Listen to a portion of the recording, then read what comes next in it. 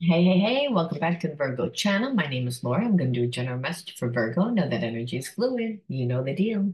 Just interpret the message as it best resonates with you. Now, if you're new to the channel, anything of any importance or relevance to the channel, you find in the description box. You'll also soon realize that I don't just look at what goes on on the surface. We do look at the spiritual blocks, the shadows, and see how they play out as karmic themes within your experience, along with everything else. If you want to enter into winning a free reading with me, you got to like the video, subscribe to the channel, and write the word of the video in your comment bar. I have chosen a few people.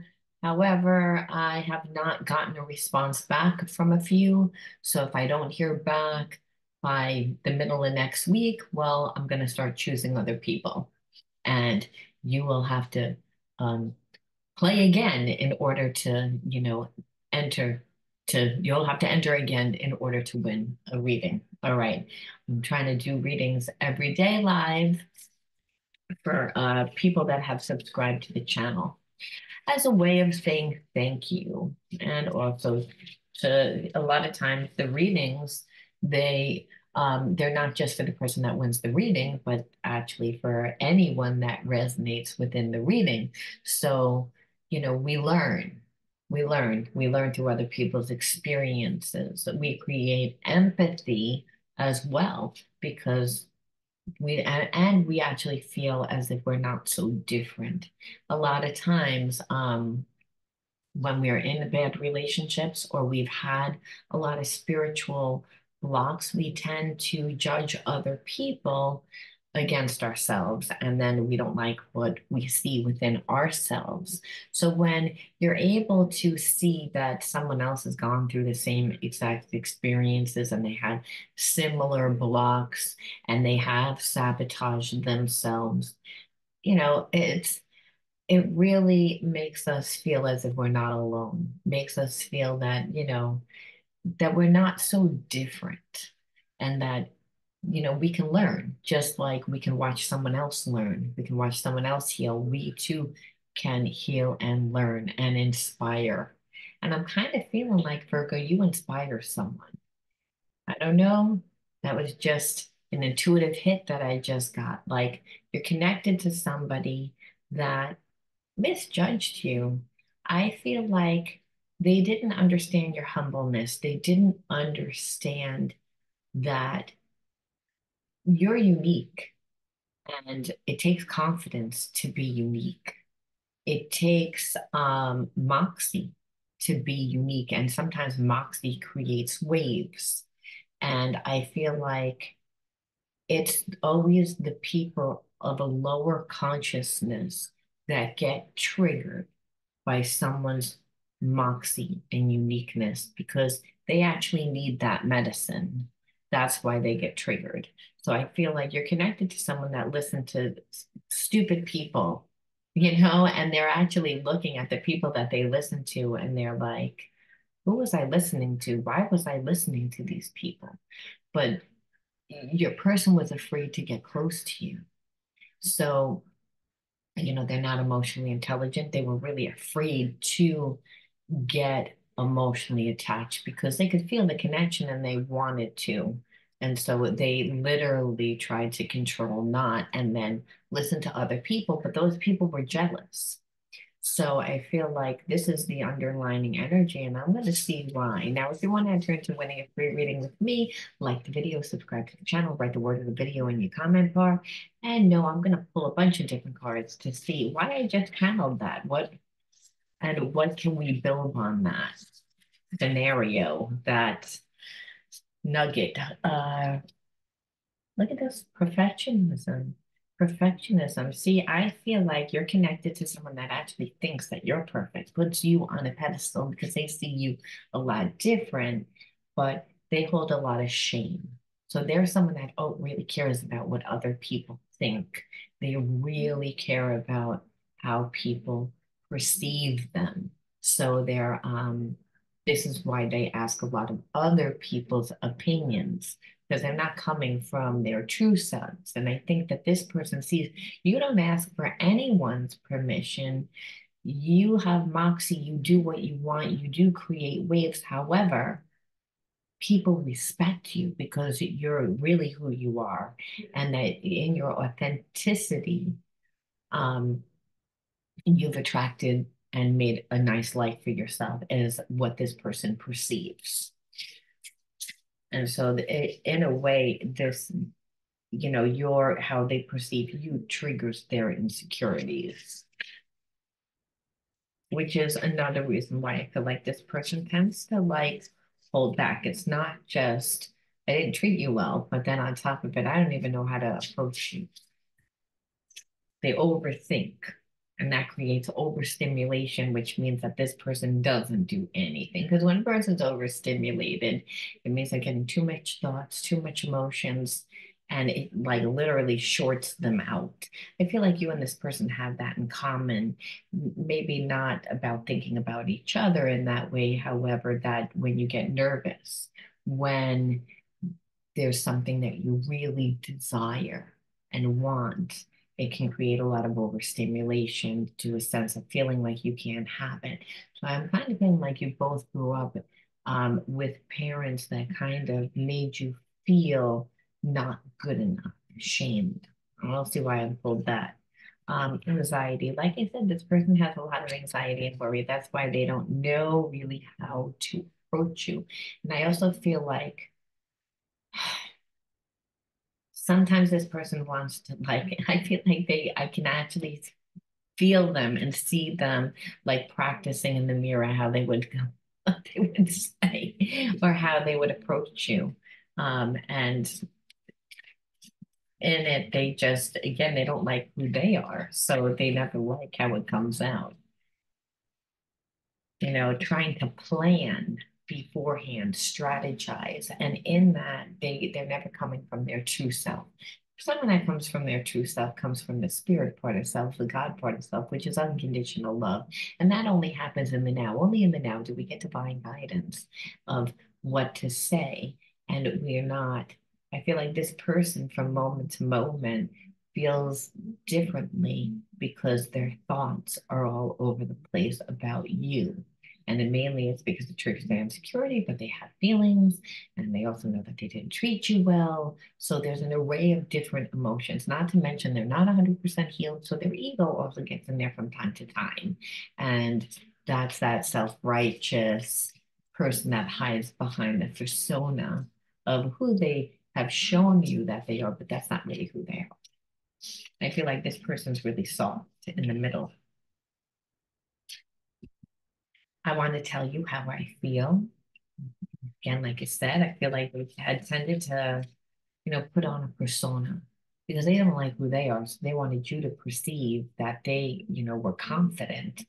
But in that, um, I feel like this person is not evolved and they were raised by a person or were around a person when they were younger that they admired and but that person that they admired needed healing because it's like instead of teaching them through love it's like this person like acted very arrogant towards them like yeah like i can have anything and my time you know, you're not really worth my time. And, you know, look at everything that I own, look at everything that I've obtained, you know, this is who I am. And again, they also had bad habits.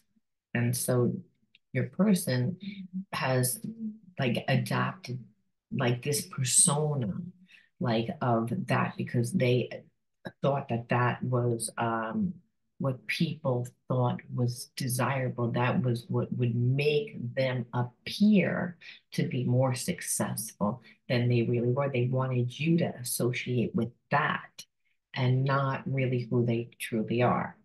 And so being that they again they they have so much anxiety and worry i feel about losing you because they didn't really think that um, you were going to respond the way that you responded. I feel like they expected you to um, at least want to talk about the relationship, at least like want to get closer to them. And I feel like there was always a want and desire on both sides. But because this person never showed you anything, you were very conscious to not show this person anything. And I feel like they played a few games to try and get you to do things, but you never really did them. And that's not uncommon for um, people that have spiritual blocks. They always act like they don't care. But the thing is, you can feel that they care. But so their way is to make themselves appear as if they're better. But in that, what they're actually doing is they're ignoring you, they're insulting you. They're again, and I feel like now this person sees that. They didn't see it when they were in that phase because anxiety and anxiety makes a person react the same way that they reacted when the original fear or trauma had hit. So this person has always felt insecure around people that they really care about. It actually works for them to be with people that they don't really care about. And it's because they feel that they don't lose themselves in the connection. They feel as if they're not manipulated by their emotions in the relationship. And the irony is, I feel like you're you may be someone that's like, you feel that way, you're the person that manipulates. You're the person that does all that. I feel that from a lot of you Virgos. Yes, because this person sees what they look for. So it's almost like the trained behaviorism is I'm going to do it to you before you do it to me. And it's not it's it's it's because this person's coming from their wound. They're not coming from their true self, their higher self. And that's what happens when you don't heal the trauma. You may say, Oh, I know exactly what it is that I do, but I don't know how to fix it. And this person needs to learn how to fix it. They continually, um, like I said, get in, get overstimulated when they really, really, really want something. And then in that, it's like because there's a sense of I can't really have that. So I get in my own way. And how do I get in my own way? I come from this fake persona and I actually, I'm really nasty and abusive and toxic to the person that I like because I always associated that type of behavior with powerful. Just the same as a lot of times we can associate um, like anxiety and fear with rage. It's like, well, that person looks angry. It's like, no, that's anxiety. And it's because again, there it's it looks the same. Well, this person got confused with those two emotions. They're not emotionally intelligent. I feel like this person wasn't allowed to be sensitive. They weren't allowed to have their own unique process. See, highly sensitive people, they take on a lot of information and and they're very intuitive. So it, the process seems slower, but they're actually more thorough. They're more thorough because they look at things from every angle. They're taking in all the information. However, if you brought up with someone that's like, like, hurry up, be this way, be smart, be don't show emotion. Like, what's taking you so long? Act with authority, act like a man, act like a woman, boss up. You know, if you're being told that, then you're trying and you're continually trying to um, to emulate someone else. You're not becoming who you're supposed to be. You're actually thinking over time that the way that you are, that there's something wrong with. And I feel like you both have this in common as well. Um, you don't know how hard it was to let you go. Again, I can't let you get close to me. I can't let you get close to me. I wanted you to reassure me. But again, the way that they needed to, for you to reassure them was for them to be soft. And they were hard. Because again, they were almost like demanding of it in a way of, I'm going to keep giving you less. I'm going to keep emotionally manipulating you till you get it. And it's almost like they handled you the way um, a parent handled them. It's like it went into that, like almost like trained behavior. And I feel like they tend to not have this problem when they are in relationships with other people that they don't they don't have the depth of emotion for I feel like they've never had this type of connection, but in them, this connection, it's made them want to control. And so we know that they're always coming from a place of fear. So again, don't want to let you get close to because I don't want you to see everything. You're not going to like it. I want you to think I'm perfect. Like I don't have any problems because then I'm desirable. Otherwise, who I am, I'm not good enough. I will wait for a sign from you, but it's again, and they waited for a sign from you, meaning that they were hoping that you were going to come back. They were hoping, and I feel like they, people that don't know their worth play this game, you know, um, people that, you know, are not going to be able to lay any boundaries down do this. Again, because they're so caught up in wanting them to like them, but they hold back. You know, like that's that's their um, way of of navigating the relationship with a person that they really like. As I said, I don't really feel like they had a lot of people that they had the depth of this connection for. That's why, like you said, it brings me to a place like this is something that happened in childhood this is something where this person is like, I always need to be seen as the leader on top. I always need to lead with my ego. I always need to be strategic. I always need to be outsmart. I always need to be this person because, again, a parent made them feel that way. So, yeah, they attracted people that they might have been attracted to, but they never had the spiritual connection. It looked good on paper, you know, but they never had that emotional connection. This person isn't allowed to feel. And here it is, you come along and you, they have feelings for you. The depth of this connection actually makes this supposedly secure person, person that acted really confident, again, or thought they were confident, I should say, has made that ego crumble where this they're looking at themselves as if they're not confident and that's what's overstimulating them. So that's why they can't reach out to you. I'm not going to reach out to you. I'm actually going to change decks to see if we can go any deeper. Because we see what they did. It's like uh, they, they never really allowed the relationship to go anywhere because it, from day one, it's like they had the connection with you. So from day one, they tried to look perfect. What's this? I'm tired of being away from you physically. I'm trying to process my fears so I can come back to you. So again, there's a sense of your spiritual connection, so they can't control it. Let's just face it. It's like there's something that's much grander than what we see in the physical world, right? There's a bigger purpose to why we're here. And a lot of times it doesn't logically make sense. So this person is not going to get it because they are not spiritual. Again, they strategize. They are very logical, linear. There's someone that has been taught that way. They've been conditioned that way. They have become not really their true self, but a version of themselves. However, they're still the true self, which is a God part of self. Again, because God says, Well, I live inside of everybody. And, you know, that's, I'm unconditional love. You know, I'm just the energy of unconditional love.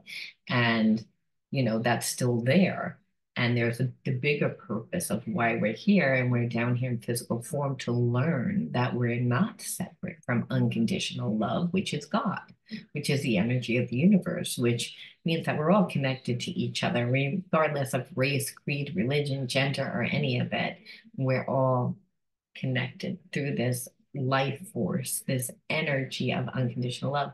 However, your person has again cut themselves off from unconditional love, meaning they've tried to control it. Their ego has gotten in the way because of layers and layers and layers of bad experiences from not coming from their true self, but always coming from this persona, which has made them always want to control their relationships because they still want love. They just don't believe that they're deserving of love. They believe that they have to be someone else in order to obtain it because they feel that there's something wrong with them because every time they would really have a deep meaning connection. And it doesn't even mean like just with, doesn't mean with just a person that they like, like uh, uh, in in a in a sexual connection or an intimate connection like that, but as like a friendship, right? Like a friendship, someone that they really like really cared for, that they let them in, and that that they'd have to be vulnerable for, and they have a hard time differentiating whose energy is whose.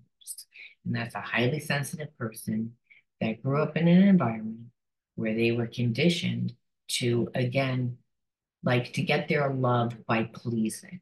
So again, here you come along and they actually have an emotional connection that never happens. So of course, they don't want to you to get that close to them because down deep inside they don't really know who they are. They don't like who they are. They are this persona.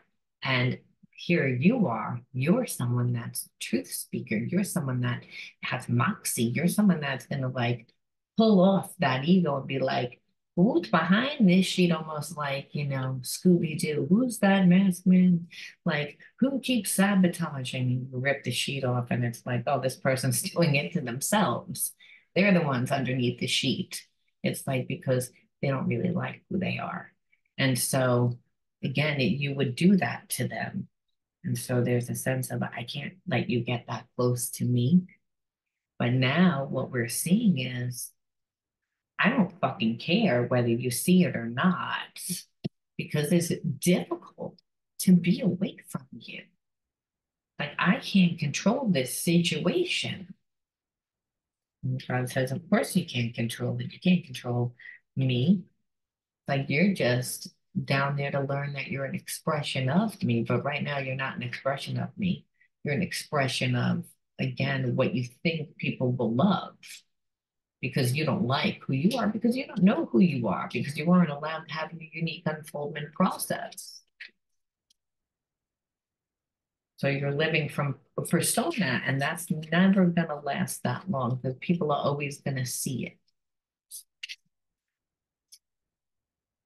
This person actually feels that they can be themselves around you, and that's like, oh my God, that's scary. Because uh, who am I then? Who do I want to be then? You know, it's like, oh, what if I don't like that person? What if it's people are going to perceive it to be? Who cares? My ego is fragile to criticism and rejection. I've created walls to protect myself. And that's what I'm saying. That's the fear. You're not going to like me when you really see who I am. So the ego is the personas of me. But in that, no one could ever get really that close. So again, it's because I don't really believe that I love myself. I, I don't believe I don't believe anyone can love me because I don't love myself because I was taught that at a young age. That's this person. I've hurt you and I'm sorry. I hope you can forgive me someday and understand I was reacting in fear. Again, that you're not gonna love me. I'm only gonna like see abandonment again. I know that, but this person acted badly, I feel like, because of it. But again, scared can sometimes look like anger, can be really vicious. I'm not going to give into fear. I know fear is only an illusion. So this person is really fighting themselves. They're like really processing because we're seeing this twice. Like, wait a minute. It's like I'm coming from this part of myself and I'm stupid. I'm like letting go of a person that I care about because I'm afraid that they're not going to like me, but they already showed me that they like me. So it's again, so this is kind of me, but so why is it? So it's making them dive deep within inside of themselves. And again, remember there are layers, layers I am walking home to you. I'm not sure where I am. on the path, but I am walking it. Like I said, and that's what I kept saying all through this relationship. It's almost like we got a similar one a few weeks ago, right? Of a person that was like, nope, I don't want this relationship because you can't really see who I am. But then it's like, oh, it's like, but I can't fight it. I can't fight it. So I feel like there can, because we got this reading a few weeks ago, a very similar one anyway, I feel like we're tapping into a person that continues to go through cycles like this, meaning they're like, no, I can hold back. No, I don't want this. And then they're like, they have a weak moment and they make some changes and they get far enough. But then I feel like people in their environment, situations happen that challenge this person because that's what happens when you're on the path to change. Um, you're always going to um, be confronted with challenges, right? Because no one's going to give you greatness. You got to get up and take it. If you want change because you're not happy with your life, and this person's not happy with their life, no one's happy coming from a persona and not letting anyone in and never experiencing love. That's why we're down here. So you can maybe say, no, no, no, I've learned to control it. Well, you can learn to control it, but guess what? You're still going out there then and having extremely addictive behavior and getting counterfeit love, whether that's through alcohol, drugs, people, or some reckless behavior that's going to be your downfall, which is exactly what I feel like your person has done in the past. And so there's certain people that are around your person also that have a lot of power because they don't let people in. So anyone that they're consistently seeing, again, they're still a highly sensitive person. They've just learned to control it. So we have to say, why did you attract this person into your life? Flow, water, we know what that's about. It's about our emotions and learning how to go with the flow. Sometimes our own emotions get stuck. And I feel like this person, uh, like I said in the beginning, it doesn't matter that they're wounded. They still hurt you coming in and not letting you get close. And even though they were wounded, reacting to to their own pain because their pain gets triggered because you're someone that they have feelings for, so they can't control the relationship. So they're going to actually do things to degrade you, to make you feel bad, to play all these games.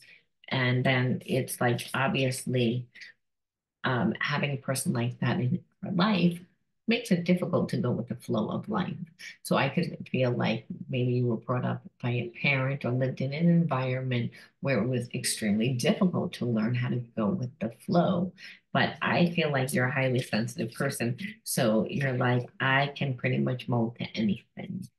Um, so it could be a gift as well as like a gift that you had to utilize to get through this um, lies and secrecy. So again, going with the flow of, again, of whatever is imbalance you had to live through.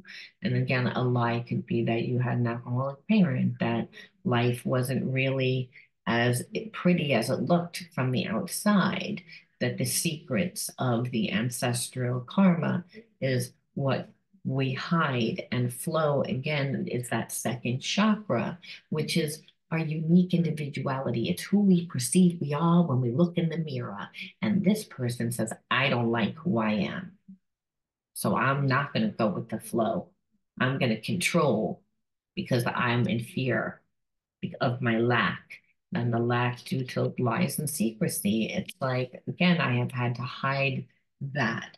I was told that that's not a good part of me.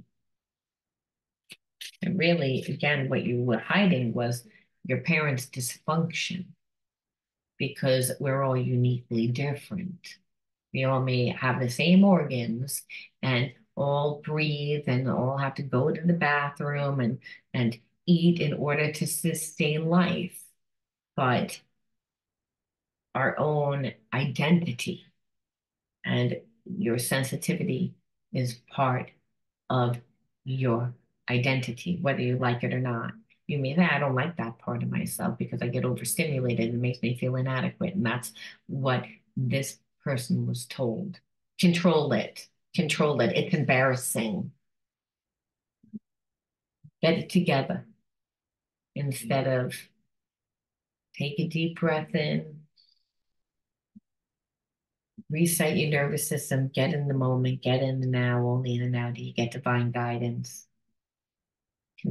Be gentle with the person. Allow them their unique unfoldment process to find themselves.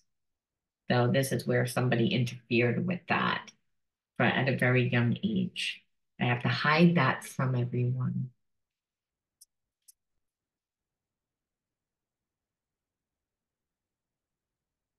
Isolation. So you could have again grown up in the same exact thing. Well, my sensitivity, and it didn't make me feel good. So I didn't really go out and play. I kind of kept to myself. It's like, or I like to to to stay by myself, or I don't want, didn't feel supported when I went through difficult times. So the way that I healed was in isolation because I'm not really allowed to have my process. Again, I feel like this is the common wound that you and this person have. Again, water. Water is all about your identity. Being able to go with the flow of life, we can only do that through the passions of life. That's why that chakra is where the uh, the um, birthing, right? It's our sexual chakra. It's it's uh, and when we have blocks in that, it's again mainly because of our identity, who we perceive that we are. So this person is on their way back, and this is a general reading. So some of you guys are going to take this person back, and some of you guys are not. But we know that it's karmic, right? So karmic relationships are not yes or no. You're not right, yes or no. You can only avoid karmic situations by shape shifting them, meaning like you'll always learn from being in a karmic relationship. Only sometimes you'll learn through pain, and other times you learn through, oh, wow, that actually worked out. I actually see a different version of myself. Karmic means that.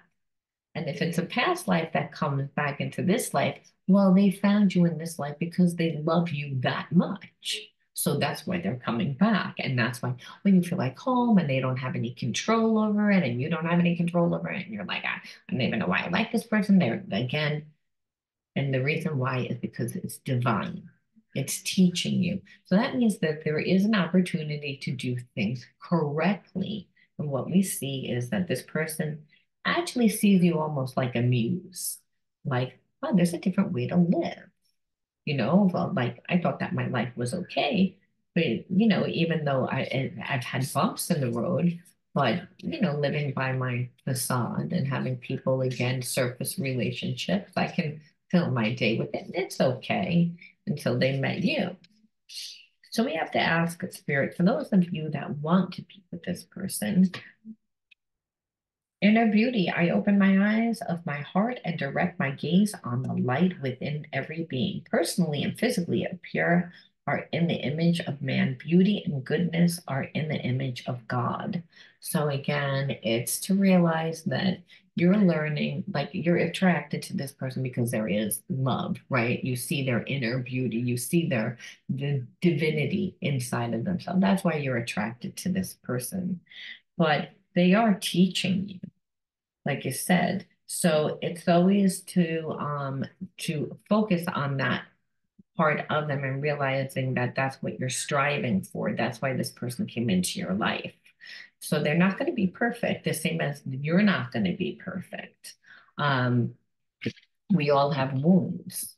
You might be like, well, my wounds don't look like that. And then spirit will say, it's again, well, you may have different gifts again, but nevertheless, just by your essence and your being, you're showing this person how to be.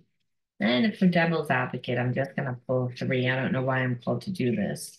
Um, we'll see. Um, I find you incredibly attractive.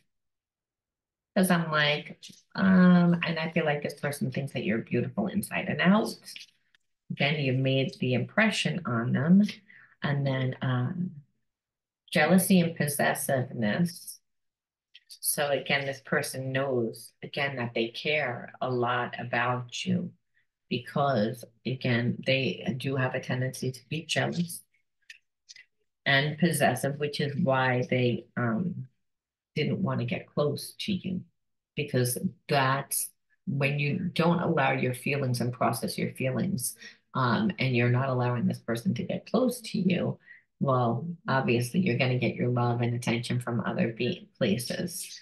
And so I feel like part of the reason why this person is coming back is because they're jealous. You know, like you're going to meet somebody else, going to leave me behind. And I feel like in the past, there was a third party. And that what it's taking them some time to be able to like get this relationship back on track. But all in all, you are the person of their dreams. So I was curious, like again, just for that extra, if we could add on to anything else that we needed, which normally I don't do.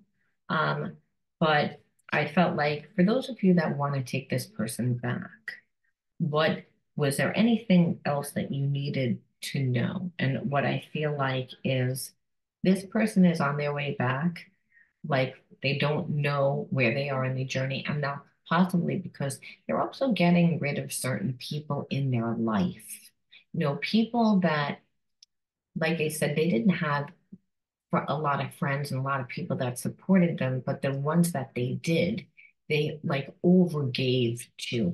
So they needed to set boundaries. And I feel like those boundaries are not really being well received by the people that, again, they're they're uh, changing, you know, they're changing around.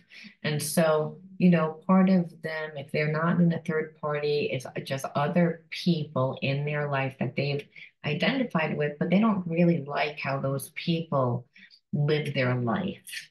And so it does take time. And, but like how they know that you're their person is they haven't stopped liking you. And they're again, and they, they get jealous. There's a certain amount of jealousy that I believe is healthy. I do. It's like, it's, it says that this person's passionate.